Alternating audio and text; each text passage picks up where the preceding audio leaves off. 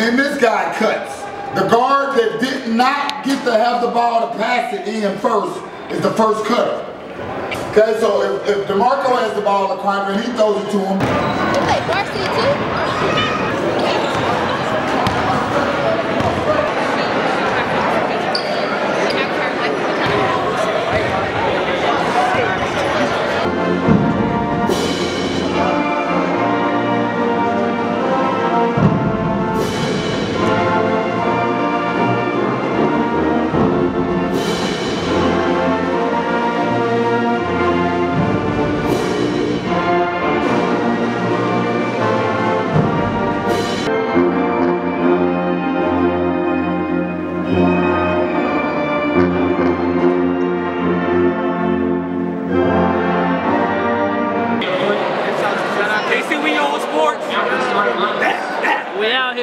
We